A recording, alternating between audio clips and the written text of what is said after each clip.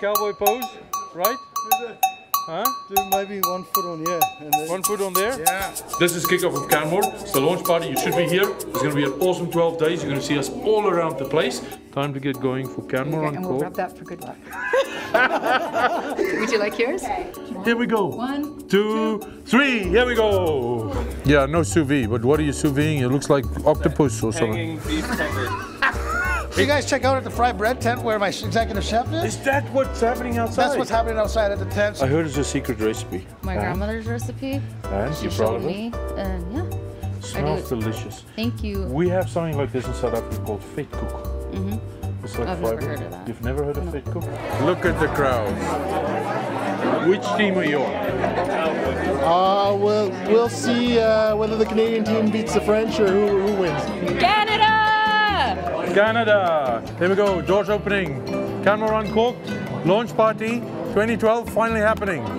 You should be here. What are we drinking? Uh, bruised and bloody. Bruised It's a and bloody. competition I wanted to all. know what that is. Bruised and bloody. It's actually a drink, but we've tweaked it a bit as we do to make it our own. So you're the Alberta team. Uh, yes, we are. Yeah. Yeah. We're all Canmore locals too. That's a little bit of a high standard you have to, to get for. So I was looking at all these left-sided hanging beef sous vides behind me. Whose idea was that?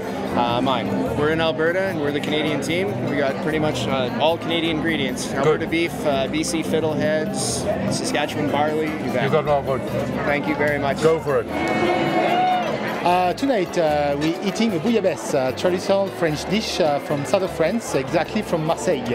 Also, the bouillabaisse is always served with some rouille. So this is a garlic paste made with olive oil, bread, chili, and milk. It's delicious. That's actually makes the bouillabaisse. French team always win.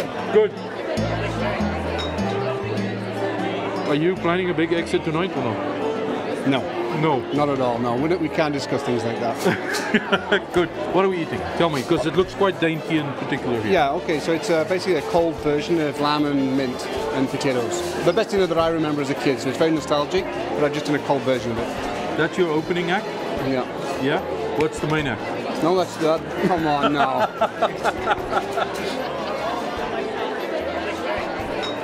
When we were hunting and gathering with it as a normal tribe, we wouldn't have uh, GFSs or Sysco's or big moving trucks with it. So it had to be something that we could either hunt, gather, or plant. So we took these elements of elk, something that we would hunt, rhubarb and beet reduction of something that would be we could find wild or plant easily. It's topped off with a smoked bison pemmican, and then we took a carrot salad. We peeled them, we marinated them, we used the tops for pesto, we dehydrated them, made a carrot pernod. We took the juice that we dehydrated, made a vinaigrette. That's our inspiration. Wow, that's all I can say. Thank you. Wow.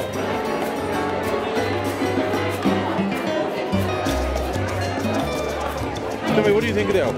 That's delicious. It's delicious. Yeah, very- Fry bread? This do, yeah, very Yeah, good. what's your favorite so far? Well, this is the only one I've tried. Take a sip of wine. You got three more to get through. Go for it. You guys are amazing. What's this squiggly thing doing there? I don't really know. It's like the worm from tequila. Yeah, it's like the tequila with a worm in it. It's a sour worm. Yeah. But you guys got the elk, I think. Yep. What's the verdict? Out of ten. Out of 10. Yeah, amazing out of 10. Did you escape Edmonton? Yeah. I know you're a judge, so Yep. you're not allowed to tell which one's your Right. favorite. But what's the standard of talent? It's very good. It's very, very good. I mean, you got Neil McCue, who's one of the best chefs in Alberta, really here. You've got Anthony Rado, who's uh, from Market. Uh, he's doing a beautiful job. You've got the guys from Grey Eagle, who are doing a terrific job with the elk. And then back here, we've got the Hogshead guys, and I'm just about to tuck in to what looks like a very lovely plate.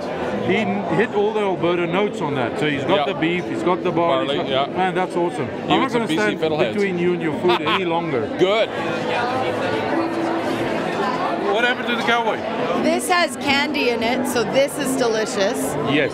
But uh, this is out of 10. I would go with 9. I'm a lamb person and I love the mint. Like it's my kind of dish. In the bite, it was full of flavor, but that's me. But I, my second favorite was Canmore, but I'm the chef. yes, yeah, you're the So I would say that You know. the lamb was too acidic. Oh, you found the food. Hey, we Well found our done. tickets and our food. double fisted, that boy. No, we, we're sort of trying everything all together to try and get the rest, the best of the standard. So far, it's a hard choice. It's lamb or beef. Well, yeah. Which one are you, a beef guy or lamb guy? Well, I spent five years in London, so I'm a big, I'm a bit partial to lamb myself. Lamb and mint, classic. Volume. Tiny country. Okay. Lots of heart and soul. So this is the sous vide beef with barley. Next one. I'll take the bread. You'll take the bread. Rabbit foot and uh, pesto. Here we go. One,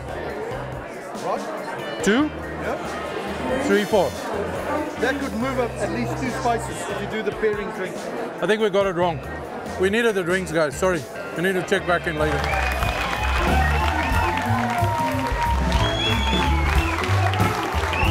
Congratulations. Thank you very much. How does it feel? Feels great, honestly. Uh, it's such a great event, but with it to be centered around food and beverage and people coming through in a room full of foodies, it's uh, there's really, honestly, no better feeling than getting cheers for different parts of your dishes. It's fantastic. Yeah. You're so passionate. Why? If you read my menu at Grey Eagle, it says passion is the magical ingredient ingredient to creating great food. It's right on my menu. You and I are on the same mindset, sir. Love it, man. Why? Why are you doing this? I, I love it, and we are showcasing what truly are Canmore's remarkable dining experiences. We have the best culinary crews here in town. We have so many restaurants, and it's fantastic. Was that your master plan all along? Great food? Always. Canmore Uncorked is all about, we always say it, remarkable dining experiences. The chefs here tonight have absolutely delivered upon that, and they've worked for a long time in, in planning these menus and getting them right. Who are you going to invite? Ah, I'm inviting the whole town. I'm inviting the whole province. You should be here. Good.